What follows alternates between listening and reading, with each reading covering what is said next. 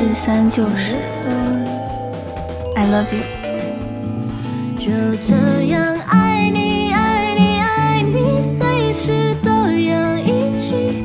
娜娜家暴同居甜菜男生二十四岁宅子路裸身到乐色普恋情。欧阳娜娜再次因为绯闻上热搜啦，这次被拍到男方住进她的闺房待了四天，还裸上身出来倒乐色，被干妈骂掉啊！可恶。而此次的男主角就是大他两岁的星星宅子路，曾在《余生，请多指教》饰演肖战的弟弟。一四三九十，I love you。宅子路因和娜娜合作拍摄新歌 MV 认识。现在几点？凌晨一点。我们的男主角小翟收工了。虽然我这两天都在录 vlog，但你从来没有跟我的 vlog 镜头打过招呼。那你不应该问问你自己的问题吗？为什么不让我？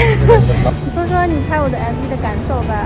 拍呃娜娜的 MV 就是开心、快乐。这两天跟娜娜在一起很开心，呃，拍的很开心。我就要跟娜娜说再见了。这么感伤？哎呀，不用赶上，两人爱的 MV 拍着拍着就成真住进闺房啦。就这样爱你爱你爱你，随时都要一起。美好爱情，我就爱这样贴近，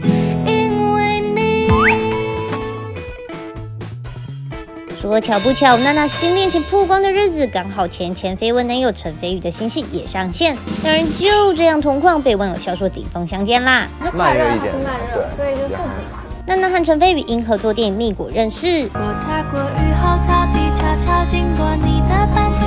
我望着窗外放晴桥畔下课铃声响起。然后就被发现穿同款衣服、戴同款饰品，两人走得太近，还被卷入大陆娱乐圈两大白富美千金排挤事件。美和请娜娜牵线陈飞宇失败，美和发了一篇疑似暗指娜娜的文，别到处招花惹草，还顾着你朋友的男票。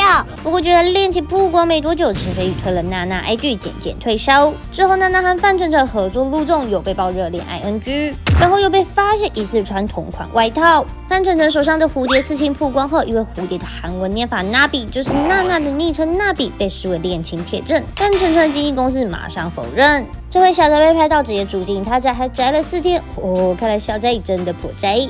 技术男的过去每一段绯闻男友都是天才，堪称男神收割机啊！再次请收下许斌的膝盖。